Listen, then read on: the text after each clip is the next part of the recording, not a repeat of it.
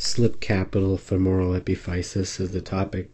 And basically, what this is, is it involves the femur, and I'll draw a diagram here to illustrate what's happening. And this, of course, is the hip bone. And coming out of the hip bone or attached to it is the femur. And this is, of course, the femoral head. And right below it is the growth plate, this part here. And then, of course, you've got the actual femur itself, which is the big bone. Now, what slipped capital femoral epiphysis is, is the movement of this femoral neck upward and forward. So you're going upward in this direction and then forward. And then forward, of course, I can't really illustrate, but you can kind of look at it as coming towards you on the page or on the screen. So it's basically a, a displacement. And the reason this happens is because uh, during adolescence, during this rapid phase of growth, there's a series of events that can happen that can lead to this. And there's four different uh, reasons. The first one is obesity. Obesity can cause a tremendous amount of force on this uh, femoral um, uh, area of the bone of the skeleton. And then the second reason is trauma. Trauma can also occur. Uh, hormonal changes are a definite part of uh, the risk factors or causes involved. And another one that can happen is inflammation. Inflammation can also lead to this. Uh, it happens mostly in early adolescence, and it affects boys a lot more than girls.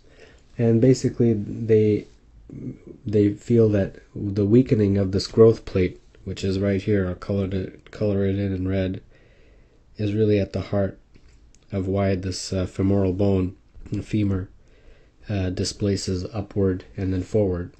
So, what are the symptoms? Of why is this happening? Well, the symptoms um, kind of happen in a progression. The very first thing that can happen is hip can be very stiff, and they feel that that's sort of the initial presenting uh, um, symptom. The next thing that can happen is the boy can start walking with a limp. Third is hip pain, and then eventually this can progress to hip pain that radiates uh, down to the knee. And it may even present as knee pain, actually. Um, another thing that definitely happens with uh, slipped capital femoral epiphysis is that there's very limited flexion and abduction of the leg and the hip. So all this is uh, presenting in uh, this uh, disorder.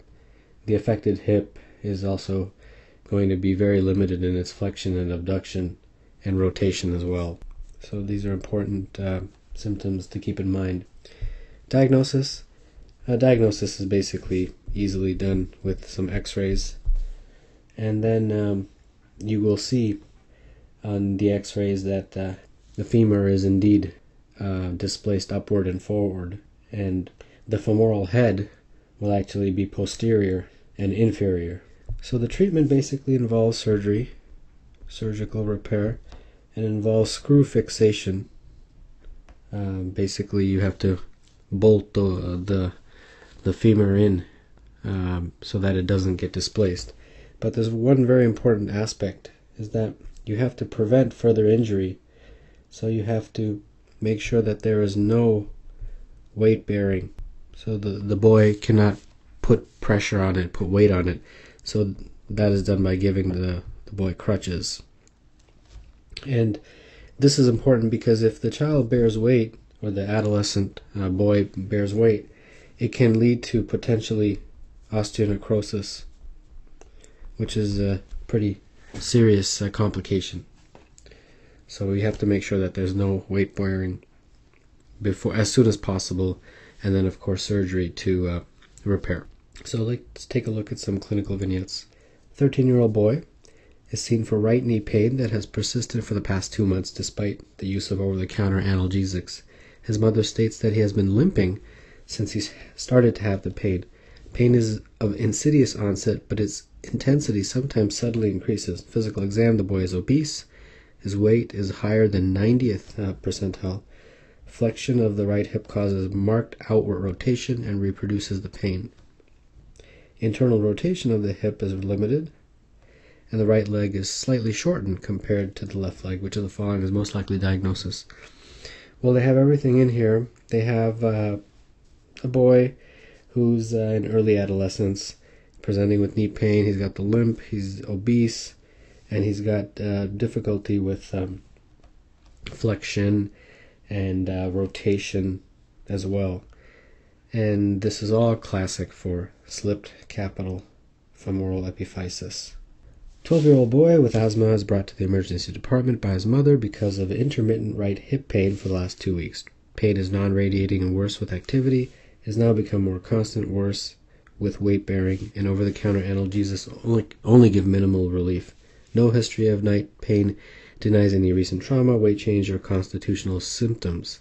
He tells you that he went to the pediatrician's office 10 days ago for the same hip pain, and he was told that this physical exam, lab studies, uh, were unremarkable. Pediatrician's diagnosis was a pulled muscle or tendon in the right hip region, and he was advised to rest. Now in the hospital, his physical exam shows an obese patient, limping gait, leg length discrepancy of 0.5 centimeters, intact motor sensory exam of lower extremities bilateral. Uh, the right hip region has intact skin, no focal tenderness to palpation. Passive range of motion of the right hip is decreased on internal rotation. When the hip is flexed, the thigh externally rotates. The most appropriate next step in management is two. Uh, this is a very nice, rather long, but very nice presentation of slip capital femoral epiphysis. And um, the treatment for this essentially involves non weight bearing and then surgical treatment by putting in screws. So let's see which one that would be uh, the first one talks about antibiotics, and that's not really part of it. Crutch walking, non weight bearing, and pelvic x rays. Well, that sounds right. But let's see. Repeat uh, CBC. That's not really the right one. And the, send them home with a prescription for a shoe insert. that's not correct. So uh, basically, choice B. And then, of course, to make it complete, if the pelvic x rays did indeed show the classic. Uh, uh, displacement of the femur, then of course you would do a surgical uh, repair with um, screw fixation.